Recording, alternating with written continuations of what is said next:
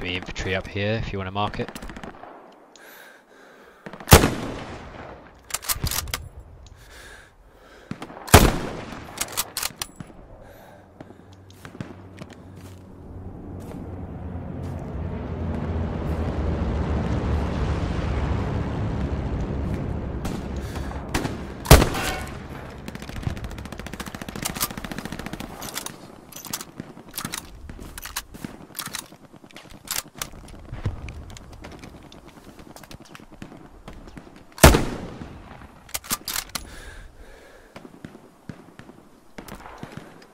Think their garrison might be here if you want to put an outpost marker here.